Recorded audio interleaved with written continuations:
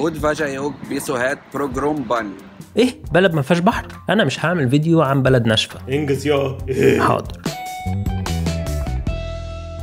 إزيكم؟ المجر هي بلد في وسط أوروبا. حاجة كده بتربط ما بين شرق أوروبا بغرب أوروبا. حلو حلو. تعداد السكان حوالي 10 مليون نسمة. منهم مليون بره المجر. يعني دي نسبة كبيرة طبعا. يعني 10% من السكان بره البلد. بعد الحرب العالمية التانية ما بقاش في أي منافذ بحرية حوالين المجر. ما عندهاش بحر. البلد صغرت وخسرت أجزاء كتير. كان أهم جزء بالنسبة لها الجزء بتاع البحر المتوسط كرواتيا خدته وراحت قافلة عليه خلاص أنتوا ما عندكوش بحر. عشان كده لسه لحد النهارده في حساسيه كده ما بين كرواتيا والمجر وفي ناس لسه لحد النهارده بتطالب برجوع الجزء بتاع البحر المتوسط ده بس طبعا مفيش الكلام ده. رغم الحساسيه دي إلا إن في ناس من المجر كتير جدا مجريين بيروحوا يصيفوا في كرواتيا في الصيف عشان هي بلد قريبة منهم ويروحوا بعربيتهم في ست ساعات مثلا. مفيش بحر آه بس عندهم بحيرة. قشطة. يعني حد لاقي. يعني اسمها بلاتون لاك بس هي بالنسبة لهم مش كفاية وما بيتحمسوش ابدا إن هم يروحوا لها عشان هي بتبقى زحمة قوي في الصيف. عاملة مثلا زي اسكندرية في الصيف مثلا عندنا في مصر بتبقى زحمة جدا مليانة بالمصطافين ودي حاجة مش بيحبوها يعني. بس برضو دي بحيرة فالموضوع مخنوق مش بحر يعني. أنت شايف آخرها؟ عندهم احتياج شديد للشواطئ والناس اللي بتشوفه هناك في الصيف بيعبر عن قد إيه الناس دي محتاجة يشوفوا بحر. المجاريين معلش عربية معدية. المجاريين في الصيف في الجناين بقى الجناين العامة كده بيخرجوا ويلبسوا مايوهات ويقعدوا في الشمس هناك يناموا بقى على ظهرهم على بطنهم على أي حتة وياخدوا شوية شمس كده كأن في بحر بس مفيش بحر ولا حاجة. ممكن تلاقي نافورة حد قاعد على النافورة ومدلدل رجليه في المية يعني كأن دي بحر وكده بس معلش. المجر جميلة وفريدة وسهلة أي حد يعيش فيها لأنها بسيطة ومتواضعة. فيها حاجات كمان متطورة زي بلاد أوروبا الغربية. كمان هي مش متبهدلة زي بقية دول أوروبا الفقيرة اللي حواليها. ساعدنا كتير جدا في الحلقة دي مايكل مجدي ودي فرصة إن أنا أشكره قبل ما نكمل الحلقة يعني.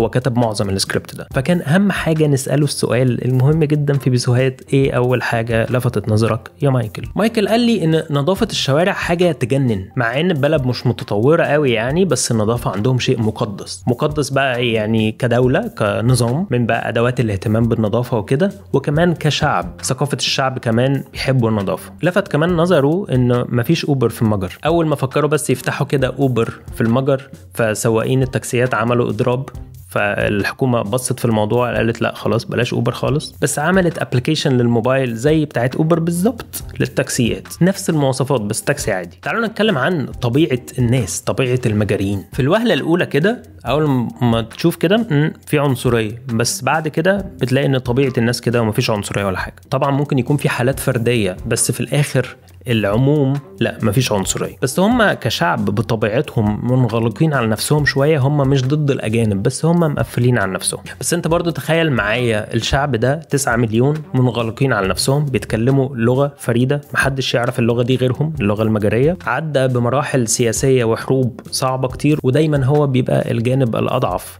في المشاكل السياسية دي. فأكيد تقدر تتوقع تصرفات انغلاقية وخوف. الناس ثقافتهم شبه بلاد حواليهم كتير في وسط أوروبا. ما تحسش بفرق كبير. أوقات بيبانوا باردين قوي وأوقات تحس إن في عنف في كلامهم. بس ده لأنك أنت غريب مش عارفهم كويس. لكن أنت لو عندك واحد صاحبك أو زميلك مجري هتلاقي إن لا الناس لطيفة عادي. الناس صعب تميزها أصلا. يعني أنت ساعات ممكن تحس إن هو صديق قريب قوي. ساعات تحس إن هو براوي. بس هو ببساطة أنت لو ركبت اتوبيس وفي حد كيس زباله هيقع عليا. الإضاءة الحمراء دي فيها كيس زباله بالمناسبه معلش. مش شايفين حاجة هنا؟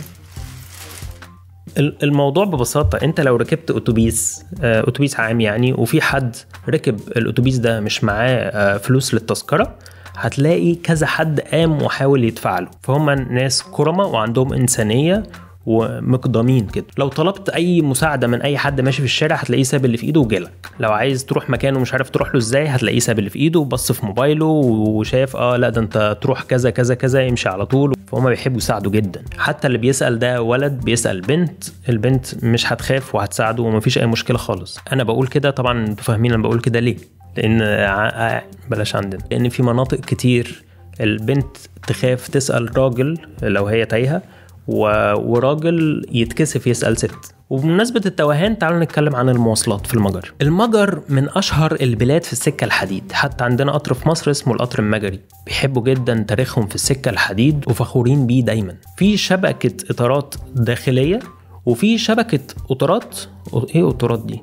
وفي شبكة قطارات تانية آه لبقية مدن أوروبا وسريعة جدا. العاصمة بودابست فيها حوالي ست طرق مواصلات رهيبة سريعة ودقيقة في مواعيدها. مايكل بيحكي لنا بيقول لنا إن هو كان عنده عربية في مصر ومتعود على السواقة بس لما سافر بودابست يعيش هناك لقى إن المواصلات حلوة جدا. وهو كمان عنده أطفال يعني فبس فضل إن هو يركب مواصلات وما يشتريش عربية لأن كل حاجة مريحة. بيقول لك مش عايز اسوق تاني من جمال المواصلات. الله!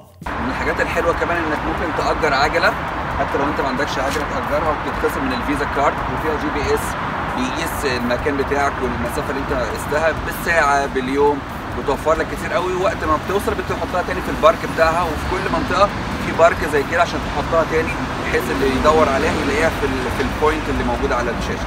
دي ال station بتاعت العجل وهي معمولة بالطاقة الشمسية عشان تجيب power وكهرباء لل machine دي. من خلالها بتعمل كارت وتدفع بيه وتقدر تستخدم بيه بقى العجلة. هنا مسار العجل. وفي إشارات مرور لكن في اشاره مرور خاصة بالعجل. طبعا شايفين العربيات بتحترم جدا مسافه العجل مش هتدخل في الحركه في العجل.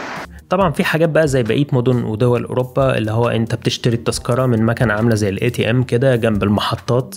فلما بتشتريها قبل ما بتركب المواصلة لازم تختم التذكرة دي. لو ما ختمتهاش دي معناها إن أنت بتتهرب من ال... من إنك أنت تدفع التذكرة وهتدفع غرامة حوالي 1000 ما يقارب يعني 1000 جنيه مصري. بس الكلام ده لو طلع تفتيش. لو ما طلعش تفتيش أنت وضميرك. المواصلات شغالة 24 ساعة وفي مواعيد بتتغير شوية بعد 12 بالليل. تعالوا نتكلم عن السياحة في المجر. معظم الكلام هيبقى عن العاصمة بودابست. حلقة زي دي وحلقة المجر بالذات يعني وبودابست العاصمة بتفكر فكرني بفيلم أنا بحبه جدا جدا جدا. فيلم The Grand Hotel of Budapest الفيلم ده من أحلى الأفلام اللي شفتها في حياتي. العاصمة هي المركز الثقافي والسياسي والاقتصادي للمجر وهي من أكتر البلاد الجميلة والاكثر حيوية في أوروبا كلها. وبودابست هي أهم مدينة في البلد أهم مدينة في المجر. طبعا العاصمة. هي مدينة حيوية جدا وصاحية بالليل وال nightlife بتاعتها تجنن. ناس كتير بتيجي من النمسا ومن ألمانيا عشان يروحوا يتبسطوا هناك. مشهورة بالبارات والحفلات الليلية. هم فعلا ما عندهمش موارد طبيعية زي بحر أو كده يعني ومحدش فعلا هيروح مخصوص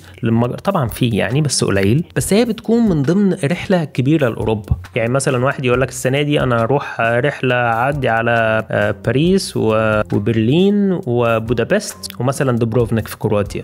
فهو إيه جولة كده يعني والمجر حاجة في النص. وهتلاقي ناس كتير قوي ماشيين في الشارع في العاصمة وهم آه لابسين شنط أو ماسكين شنط في إيديهم عشان هم بس إيه يعني معدي يعني أو بتبقى رحلة قصيرة لناس أوروبيين أصلا. في بودابست استغلوا مباني قديمة من فترة الشيوعية معمولة بالديكور القديم والطوب الحجري المتهالك. لكن بدل ما يهدوها عملوها زي كازينوهات ليلية. وبقى الديكور من جوه حاجات قديمة. أول ما بتدخل جوه بتحس إحساس غريب. الإضاءة مع الدخان مع الديكور حاجات غريبة جدا.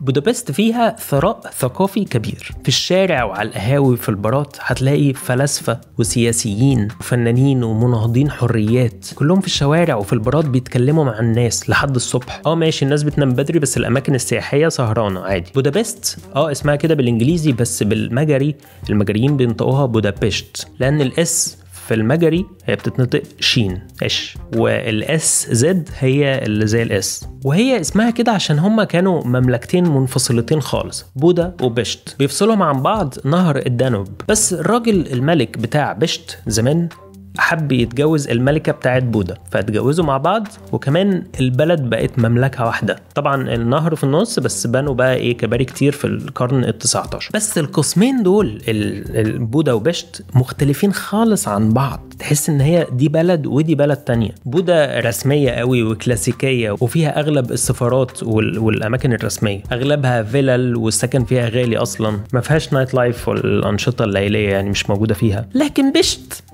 حيوية أكتر صاحيه وسهرانة. الحياة فيها أرخص فيها محلات كتير حيوية أكتر كده. حتى الاحتفالات بتتعمل هناك. بلد مليانة تاريخ وحضارة وثقافة. أنت طول ما أنت ماشي في الشوارع هتوه لأنك أنت عايز تروح في كل الأماكن في نفس الوقت. أنا عايز أروح هنا وأدخل من هنا وأطلع من هنا. هتوه وأنت مبسوط. في قلعة هناك اسمها ذا سيتاديلا دي في مكان عالي فوق. تطلع فوق بقى. على هضبة اسمها جاليرت ودي في بودا على الجانب الغربي من نهر دانوب. اتفرج بقى من فوق كده. على النهر وعلى المباني وعلى الكباري. كل ده بقى إيه؟ في view واحد. الله. المنطقة اللي حوالين سيتاديلا هي أقدم منطقة في بودابست. كل مبانيها هو mix ما بين المباني اللي معمولة بالطراز ال medieval ي والطراز الباروكي. القلعة دي اتبنت في القرن ال 13 يعني 1400 وحاجة. كانت البيت اللي بيعيشوا فيه ملوك المجر. وخلال بقى ال 700 سنة اللي فاتوا دول عدت حروب بقى وبلاوي على السيتاديلا دي اتهدت واتبنت كتير من كتر اللي حصل فيها يعني. بعد كل حرب مم. معلش انت. بعد كل حرب يبنوها ويظبطوها. جنب القلعة في كنيسة ماتياس. ماتياس هي آه، كانت أيام الحكم العثماني هناك لما راحوا هناك. ابعد بقى ابعد بقى. معلش ما تزعلش خلاص خلاص. العثمانيين حكموا البلد دي 150 سنة أيام الحكم بتاع العثمانيين.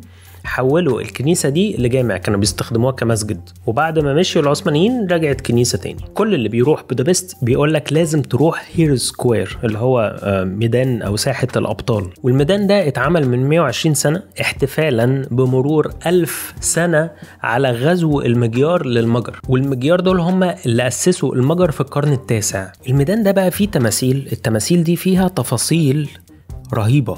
تنايات بقى في الهدوم وحاجات فن بقى معمول نظيف. هتحسهم حقيقيين جدا. من أكتر الأماكن اللي بتتزار برضه هو البرلمان المجري في بشت ده على الطراز القوطي اللي هو الجوثيك. اتعمل على شكل البرلمان البريطاني من جوه استخدموا كمية ذهب وهما بيبنوا المبنى ده في التصميم والديكورات بتاعته حوالي 40 كيلو ذهب. هو رهيب المبنى من جوه ورهيب من بره ورهيب من بعيد. تحفة. وهو موجود على نهر الدانوب برضه من الحاجات كمان المشهورة بيها بودابست العاصمة الحدائق العامة آه، في كل حي في حديقة زي اللي ورايا دي. بتختلف طبعا في المساحة وفي آه، المعدات والحاجات الموجودة فيها. أوقات بيبقى فيها معدات رياضية للجيم كامل مفتوحة مجانا في الشوارع لأي حد عايز يستخدمها. هي مفتوحة لاستخدام الناس يعني. طبعا في مراجيح للأطفال وحاجات تستخدم. كل ده مفتوح للمرة مجانا وتنفس كمان للبيئة.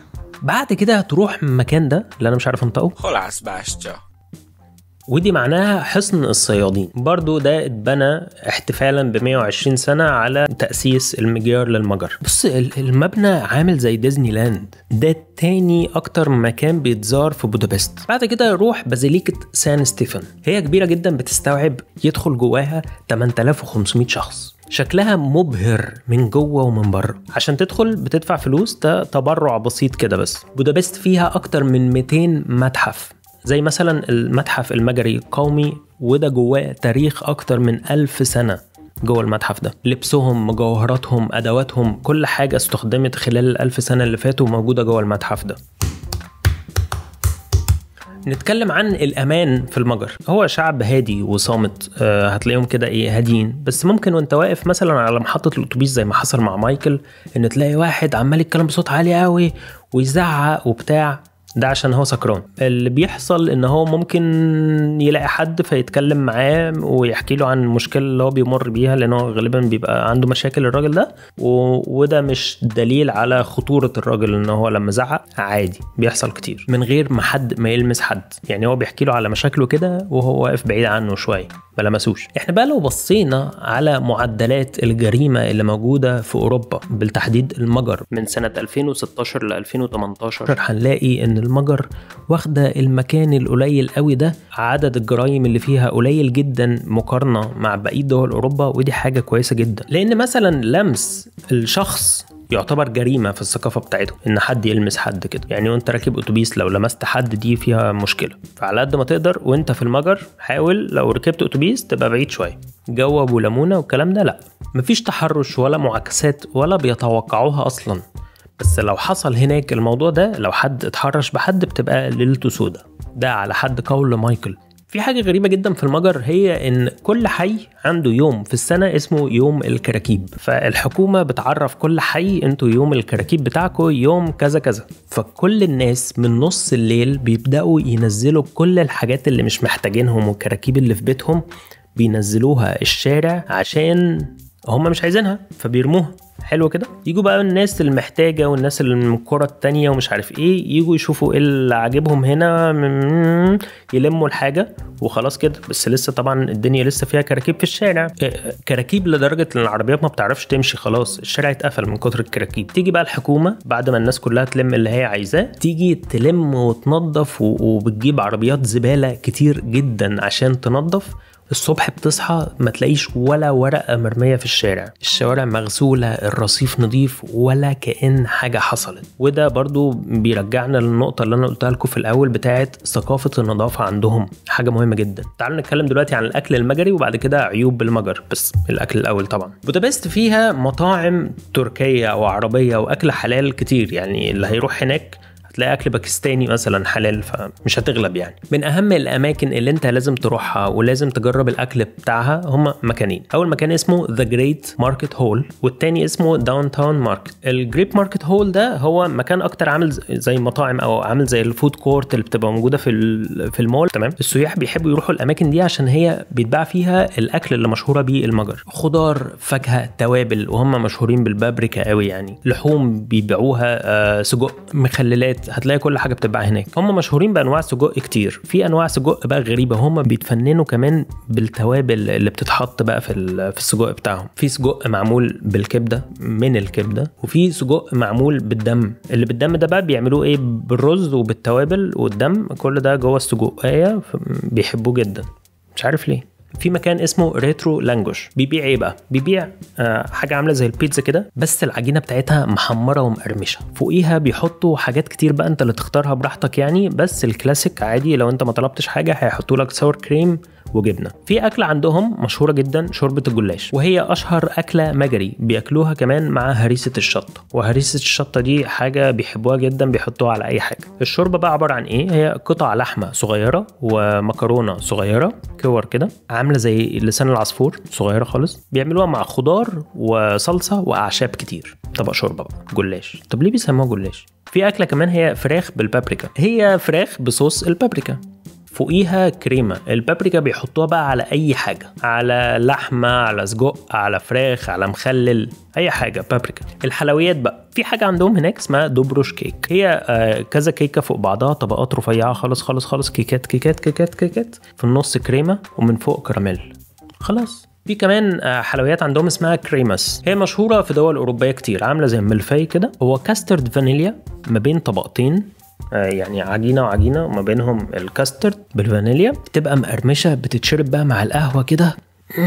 تعالوا دلوقتي نتكلم عن عيوب المجر. أحلى فقرة. أحلى فقرة. دلوقتي آه، عيب من العيوب اللي هم ناس منغلقين قوي على نفسهم. هم عندهم لغة ما حدش بيتكلم باللغة دي تاني, في العالم كله وقليل قوي اللي بيتكلموا انجليزي واللي بيتكلموا انجليزي بيبقوا مكسوفين ومتوترين قوي هم بيتكلموا انجليزي فدي آه، مشكلة. انت بقى تضطر تستخدم Google Translate مشقة لا تشق علي في بعض الكلمات المهمة اللي ممكن تساعد أي حد جاي جديد المجر هي كلمة jó reggelt. jó reggelt بنقولها زي صباح الخير بس بيخلص استخدامها بدري يعني على الساعة 10 ما تلاقيش حد بيقولها.